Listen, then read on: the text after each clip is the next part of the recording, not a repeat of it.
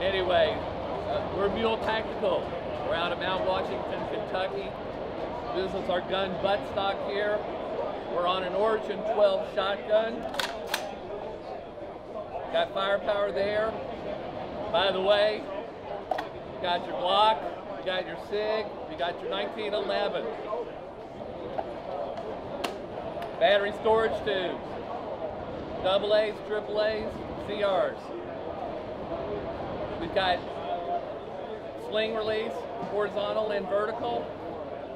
Got a nice little tenderizer for a little bit of defense there. Safety, you got to push both of them at the same time. So anyway, new product just introduced in Vegas 2015.